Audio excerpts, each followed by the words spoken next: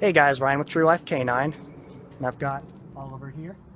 Just want to show you guys a quick tip on how to stop a dog from biting the leash. So this dog is kind of biting the leash right now. We'll see if he, does. there we go. So when I apply pressure, he's not a huge fan of it. So I've got something here called a pet corrector. Just makes a quick little blast of, just like a little startling kind of blast of air.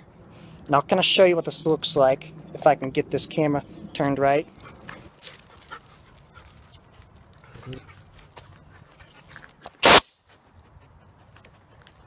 So just like that. And he stops. All right, that's it.